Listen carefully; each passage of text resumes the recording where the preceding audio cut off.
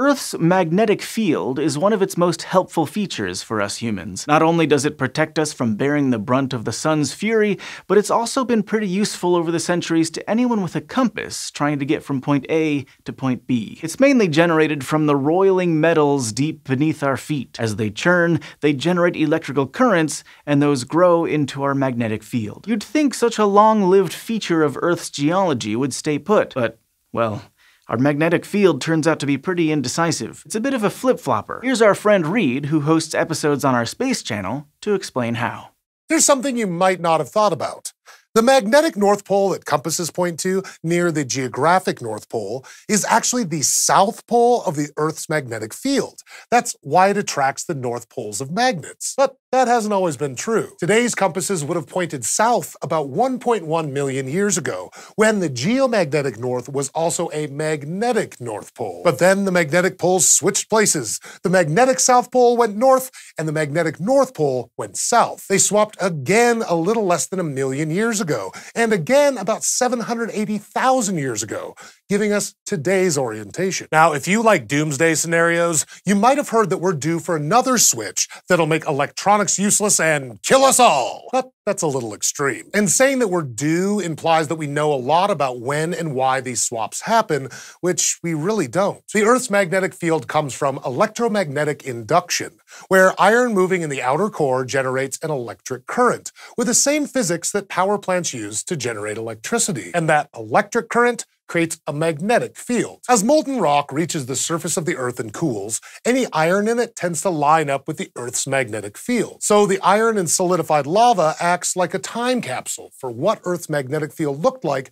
when it solidified. Some places, like where two tectonic plates have been consistently moving away from each other, have had molten rock coming out and solidifying for millions of years. The farther you get from these divergent plate boundaries, the older the iron filled rocks are, and the older the trapped magnetic field is. Many of these boundaries are on the ocean floor, so scientists can measure how the Earth's magnetic field has changed over time by bringing sensitive magnetic measuring equipment with them on ships across the ocean. They first tried it back in the 1950s and 60s, and every measurement since has confirmed the same story.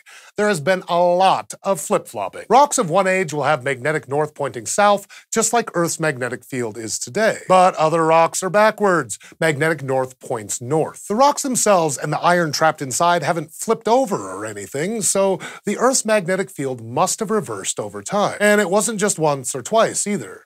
There have been at least a hundred of these so-called magnetic field reversals. In fact, there's evidence for reversals going all the way back before the Cambrian period, more than half a billion years ago. Despite these and other measurements, like radioactive elements in rocks, scientists haven't found much of a pattern in the timing of magnetic field reversals. Sometimes Sometimes they happen back to back, geologically speaking, but other times there are millions of years between them. That's one reason it's a little silly to say that we're due for another just because it hasn't happened for around 780,000 years. The next one might be soon, or we could be at the beginning of something like the Cretaceous normal superchron, a period of about 40 million years without a single reversal. Or a reversal might have happened more recently than we thought. Some scientists studying rocks and sediments from the Black Sea recently found magnetic evidence for a pair of reversals reversals around 41,000 years ago, with only a couple hundred years between them. But that would be a pretty extreme pair of reversals, since we think that a single flip generally takes a few thousand years from beginning to end. Although there's a ton of variation here too.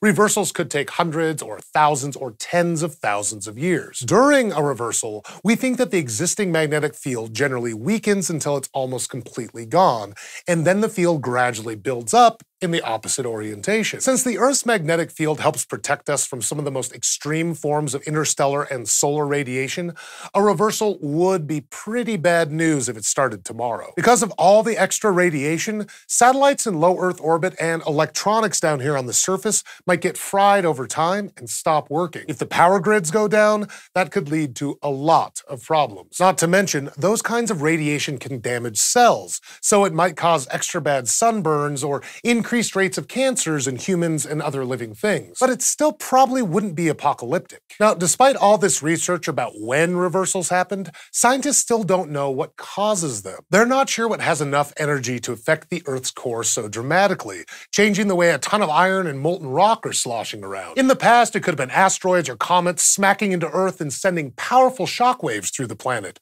or triggering climate events that changed how its mass is distributed. Or it could have to do with big chunks of tectonic plates descending into Earth's mantle, or blobs of magma moving up from the deep mantle and throwing things out of balance. But it's hard to find evidence of exactly what's happened in Earth's core for the last billion years, and our computer simulations can only predict so much with incomplete data sets. So, geophysicists are still at the guessing stage of science, at least for now. So we can't always count on north being north and south being south. At least these days, most of us don't need that information to grow or catch our dinner. While we need the magnetic field to protect us from the sun, other animals like foxes use it to hunt. And here's how we know. You might be familiar with the cute pouncing technique many foxes use to hunt mice and voles. They'll jump high into the air and come down nearly directly on top of their prey, even if that prey is hidden from sight in snow or grassy underbrush. This is a tricky hunting technique to master because a fox needs to know exactly where their prey is so they can successfully line up their attack and close the distance with that jump. Scientists know that they're using their big ears to help zero in on their target, but some think that they're also using another sense, that the foxes are actually hunting using magnetic fields. And no, this isn't like they've got a built-in metal detector for mice, rather, they may be sensing the Earth's magnetic field. In fact, Foxes might be the first animal we know of to use magnetoreception to gauge the distance to their prey, and this sense might be crucial to their pouncing success. In a 2011 study of red foxes in Europe, researchers noticed that when their prey was hidden by vegetation, a whopping 74% of successful hunting pounces occurred when the fox was pointed in a northeasterly direction. They combed through their data, looking for other factors that might bias the direction of attack, like the wind or sunny versus cloudy conditions. After ruling all that out, they proposed that the foxes were using magnetoreception to orient themselves roughly toward magnetic north. While they weren't sure how, they did make a suggestion for why doing so would be helpful to the fox. You see, as a fox approaches its prey, it will use its other senses to gauge where its target is.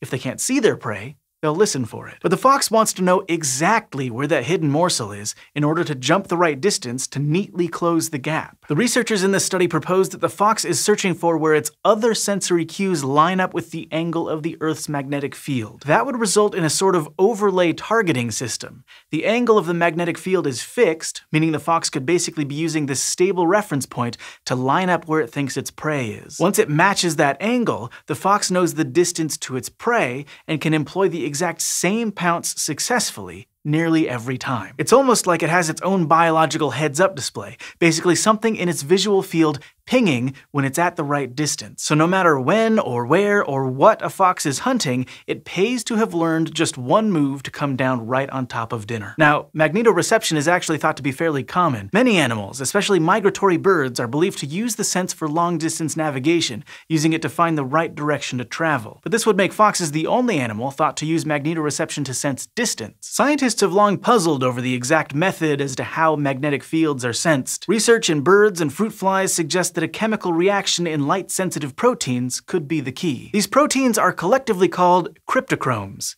and foxes have them in their eyes, just like birds and some other magnetosensing species. So if these proteins are found in the eyes and are sensitive to light, what does that have to do with sensing magnetic fields? We're not totally sure, but there is some evidence for how it might work. When a photon of blue light hits a cryptochrome, the cryptochrome transfers an electron to a partner molecule. This new arrangement leaves each partner with an uneven number of electrons. One has an extra electron and one has one fewer. And every electron has a property called spin, which can be either up or down. In the case of our unbalanced pair, one of those electrons has an upspin and the other has a downspin at the time of the transfer. But then they flip back and forth and even wobble. Now, this electron transfer reaction is reversible, meaning it can go back the other way, but only when the electron spins are opposite. But because magnetic fields influence the rates of the electrons flipping between up and down spin, and the wobble in that spin, a magnetic field could change the rates and products of the chemical reactions too. At least, This is how it works in theory. We know migratory bird eyes contain cryptochromes, and that their ability to navigate with magnetic fields may require the presence of light. Foxes and some other mammals also have cryptochromes in their retinas, and they're our strongest candidate for the job of biochemical magnetoreceptor. But we still need to show experimentally that cryptochromes form enough of these electron pairs to signal in some way that this way is north and this way isn't. And in fact, even if cryptochromes are sensitive to magnetic fields at a biologically relevant level, we don't know how that signal will get passed along to the animal's brain, so we can't be sure it actually senses anything. So while the chemistry and math seem to check out, scientists are still working on the biological details of foxes hunting magnetovision. Still, it's no wonder that pounce is a mouse's worst nightmare. Okay, so scientists are probably still working out the biology that helps foxes locate their prey. But how would alien foxes find their food? Because we're not the only planet in the universe. And other planetary magnetic fields aren't all set up like ours. So here's a look at how that goes down for some of our neighbors with our other friend on SciShow Space, Caitlin. Here on Earth, we owe our lives to the magnetic field surrounding our planet. Without it, charged particles from the sun would crash right into our atmosphere and whisk parts of it off into space. Fortunately, Earth's magnetic field fends off most of those particles before they can do any harm. But magnetic fields don't always play the hero. Other planets' relationships with their magnetic fields are complicated. And sometimes magnetic fields do more harm than good. For example, it seems like Mars has had it pretty rough. As barren as it is today, we can tell by its ancient canyons and dried out riverbeds that about 3.5 billion years ago, water flowed on the surface of Mars. And that would only have been possible if it had a thick atmosphere, putting enough pressure on the water to keep it in liquid form. But today, its atmosphere is super thin, less than 1% as thick as Earth's, which raises the question where did it go? Researchers think the answer could have to do with its magnetic field. Satellite observations of magnetized rock formations on Mars suggest that around the time water was flowing on its surface, convection in its core created what's called a dynamo effect, a magnetic field set up by the swirling motion of molten metal. The magnetic field would have surrounded the planet and protected its atmosphere just like ours does on Earth. But for reasons scientists don't fully understand yet, Mars's dynamo effect stopped around 3.9 billion years ago, and switched off its global magnetic field. And just like that, Mars's main protection against the sun's charged particles, or solar wind, vanished. But that wasn't the end of the story. Even now, satellites can still detect some very weak magnetism in patches of Mars's surface. That's because over time, Mars's global magnetic field had magnetized rocks on its surface. Those rocks held onto the magnetism baked into them even when the dynamo effect disappeared. And as a result of the magnetization in those rocks, Mars still has a weak magnetic field today. But you might think a weak magnetic field, that's better than none when it comes to protecting an atmosphere. But in early 2020, a study in the Journal of Geophysical Research suggested exactly the opposite. The authors used computer models to predict how quickly Mars's atmosphere would have escaped from under a strong magnetic field, a weak one, or none at all. As expected, in the model with no magnetic field, the solar wind gradually swept the atmosphere away over time, while a strong magnetic field protected the atmosphere. But the fastest loss actually happened in the model with a weak magnetic field. See, on Mars, the magnetic field lines are so flimsy that instead of surrounding surrounding the planet like they do here on Earth, the solar wind bends them away from the planet like streamers blowing in the wind. This creates a sort of magnetic tail on Mars's downwind side. Unfortunately, that doesn't just channel charged particles from the solar wind. Charged particles from the atmosphere can also drift along magnetic field lines. The researchers' computer model showed that oxygen and carbon dioxide ions escaped through the magnetic tail faster than in the scenario with no magnetic field at all. And they believe that process is what sped up the loss of Mars's atmosphere and turned the planet into the barren world it is today. So for Mars, a bit of magnetism was a dangerous thing. But that's not always the case. Like on Mercury, a weak magnetic field is the whole reason the planet has any kind of atmosphere at all. The planet is pretty small, only about one and a half times the size of our moon, and its gravity isn't strong enough to hold onto a proper atmosphere. But it actually does have some gases surrounding it. They're really sparse, and the atmospheric pressure is so low that we can't even measure it. But spacecraft have confirmed that there are traces of gas on the planet, and that's kind of odd. Given Mercury's weak gravity, even that wispy atmosphere should have drifted off into space a long time ago. So the only reason it exists today is because there's a process replenishing that gas over time. And that has to do with Mercury's magnetic field. Even though at the surface it's only about 1% as strong as Earth's, Mercury's magnetic field is able to deflect some of the solar wind. But it can get a little patchy. And from time to time, its magnetic field lines twist up to form a little bundle called a magnetic tornado. These funnels twist out into space, and passing particles from the solar wind spiral down them, then crash into the rocky surface of Mercury at about 500 kilometers per second. That's fast enough to blast atoms off the surface and replenish some of the particles in its atmosphere. In fact, without its leaky magnetic field, Mercury might not have an atmosphere at all. So, depending on the circumstances, weak magnetic fields can play both offense and defense for a planet's atmosphere. So, now you might be thinking that strong magnetic fields would be more reliable protectors of their planets. But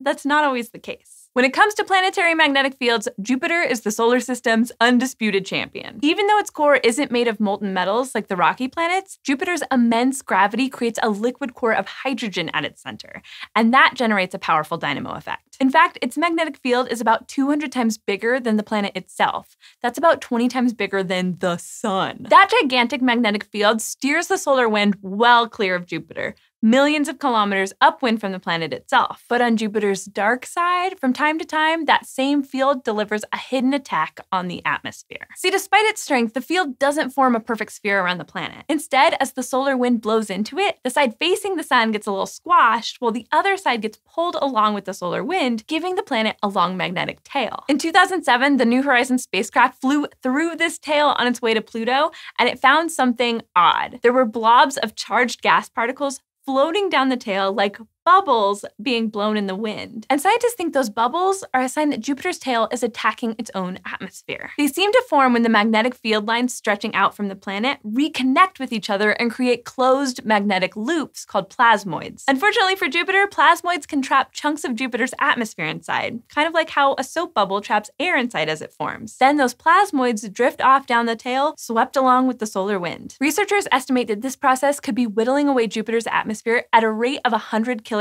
a second. In fact, plasmoids are stealing bubbles of gases from many planets, including all the other gas giants in our solar system. So, no matter how strong they are, magnetic fields can have a sly streak. Now, not every planet generates its own magnetic field, but that doesn't necessarily mean that they're off the hook. Take Venus. There's no dynamo effect going on inside the planet, so you might think that it would be safe from plasmoids, but also wide open to attack from solar wind. And incredibly, neither one is true. When UV light from the sun hits Venus, it ejects electrons from atoms in its upper atmosphere, and that creates a buffer of charged molecules called the ionosphere. Then, when the solar wind collides with this ionosphere, it induces a magnetic field field around the planet. That's because anytime you have moving charged particles, they create a magnetic field. So the particles in the solar wind carry a magnetic field of their own. But it also works the other way around. A magnetic field also moves charged particles. So the magnetic field from the solar wind moves the particles in the ionosphere. And when the particles in the ionosphere move, they then generate their own magnetic field. That induced field pushes back in the opposite direction to the original one that created it. For Venus, that means that the field in the ionosphere pushes back against the solar wind, just like an ordinary magnetic field would. And it actually protects Venus just like a normal one would too. But it also comes with its own problems. Like Jupiter, Venus has a long magnetic tail from its induced field, and occasionally those field lines reconnect, forming plasmoids that snip away parts of its atmosphere just like on Jupiter. With all the chaos taking place in the atmospheres around the solar system, at least here on Earth, our magnetic field is on our side, except when it's not. One of the most beautiful effects of our own magnetic field are auroras, also known as the northern and southern lights. These natural light shows happen when our magnetic field whisks particles from the solar wind toward our planet's poles. As they accelerate, they radiate light in the visible spectrum, creating those gorgeous, colorful streaks. But as pretty as they are, those particles don't always sail harmlessly through the sky. Sometimes they crash straight into oxygen ions in the upper atmosphere. When that happens, they often lose their energy and transfer it to the oxygen ion instead, speeding it up enough that it can escape the atmosphere and ride Earth's very own magnetic tail off into space. And that happens more often than you'd think. Earth loses 90 metric tons of its atmosphere every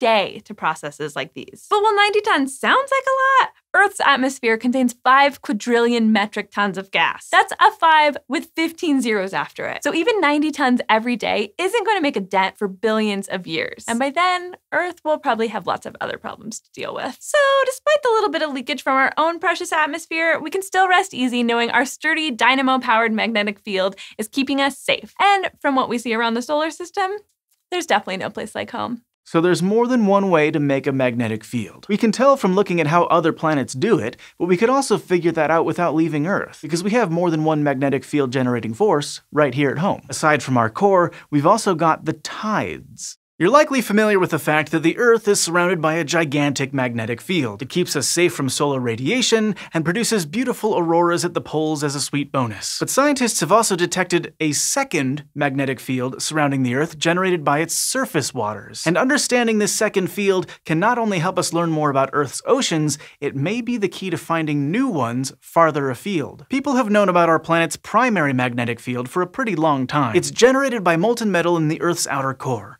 Because because the electrons in a metal are relatively free to move, that means a bunch of electric charge moving around beneath the surface of the planet, and flowing charge creates a magnetic field. Since there's such a huge amount of molten metal in the 2300 kilometer thick outer core of the Earth, the magnetic field it creates is also huge. But it turns out, superheated liquid metal isn't the only source of magnetism on this planet. Any flow of charge in a single direction can create a current and a corresponding magnetic field. Where there's current, there should be a field. And it just so happens that our oceans contain a heck of a lot of charge in the form of ions. Ocean water is salty because it contains minerals like sodium chloride, but those minerals dissolve in the water. The sodium and the chlorine separate from one another into a positively charged charged sodium ion and a negatively charged chlorine one, and other minerals behave in similar ways. The charge from a single ion is minuscule, but the oceans contain a lot of salt. And when that salty ionic water flows through the Earth's magnetic field, it creates weak electric currents, which produce their own weak magnetic field. This had actually been predicted as far back as the 1830s, but we didn't have the technology to spot the oceanic magnetic field